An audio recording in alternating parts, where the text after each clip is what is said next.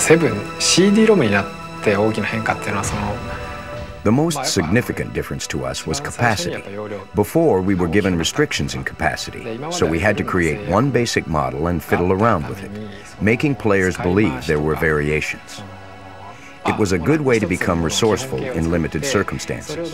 But on the CD-ROM, that restriction was completely taken away, and we didn't have to worry about various ways of modifying one basic model. If we needed 100 models, we could create each of them from scratch. The basic concept you have when creating RPGs is to imitate the real world and create a fictional world within the game.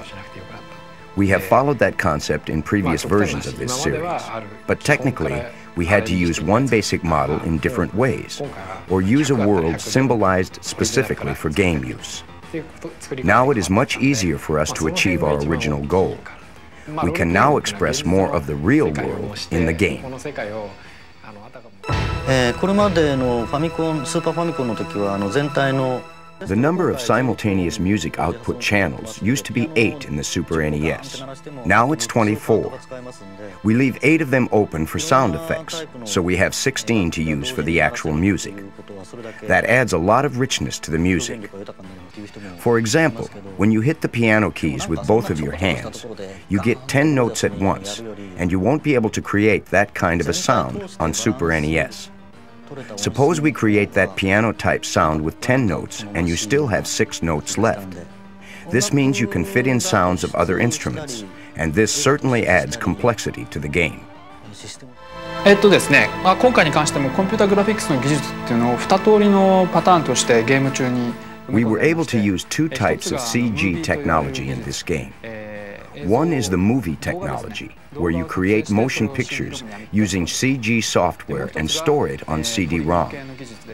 The other is polygon-based technology, where you create 3D objects and make them move. It is amazing to see new images being generated one after another, and all being played smoothly on the game console. You realize how powerful current technology is. えー、っとまあ、ロムから CD ロムになってだんだん今までは Thanks to CD-ROM, cinematic expressions which were impossible in the past have become available. For example, we can now show close-ups on characters' faces, and using various camera angles, the game screen is no longer a stage-like space. However, movies can be seen in movie theaters. In order to make this thing attractive to game players, we tried hard to put playable elements in the scenarios. We made it so players will not have to follow our pace.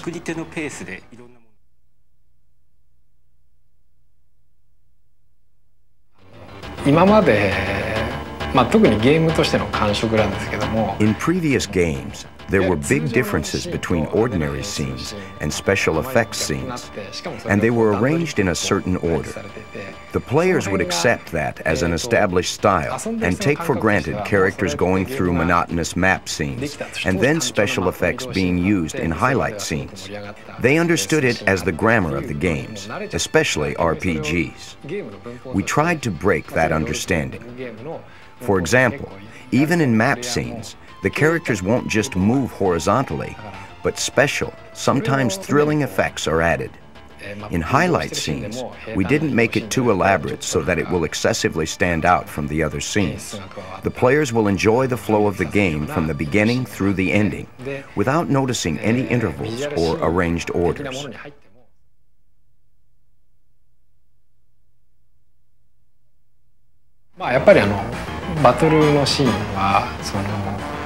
In battle scenes, we use a lot of camera angles and effects, paying attention to space and 3D.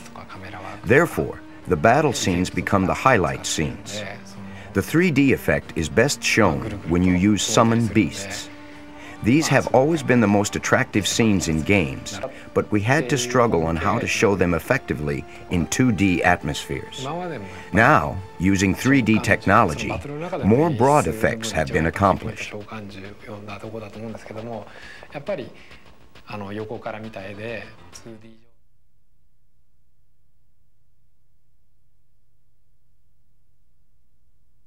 Eh, フィールドを歩く時の曲が The music in the field scenes, which is where the character walks around, has a unique flavor that no other RPGs had in the past.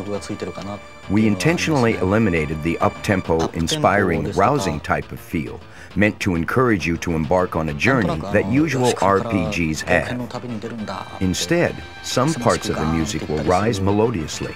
Some parts will make you feel insecure, therefore creating various expressions within the same field of music. I assume players will get a different feel from it compared to previous RPGs. To tell the truth, I hope so, since this is my own experiment.